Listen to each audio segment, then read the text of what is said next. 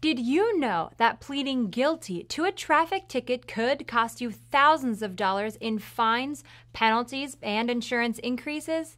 In some of the most serious offenses, a conviction can result in your insurance company dropping you as a client, your license being suspended, and even a jail sentence.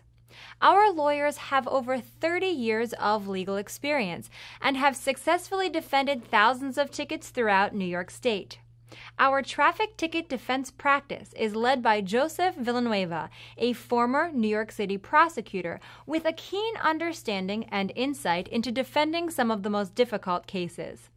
Let our skilled and experienced attorneys work for you.